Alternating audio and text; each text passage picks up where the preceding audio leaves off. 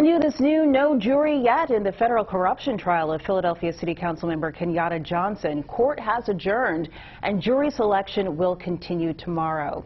CBS 3 was there this morning as Johnson arrived at the courthouse. A grand jury indicted Johnson, a Democrat, and his wife back in 2020. They are accused of taking more than $66,000 in bribes. The couple and two other Philadelphia business owners are facing charges including bribery, honest services fraud, and tax offenses. Well, happening right now, Villanova March Madness excitement. This is a live picture from campus. The Wildcats are heading out of town as their run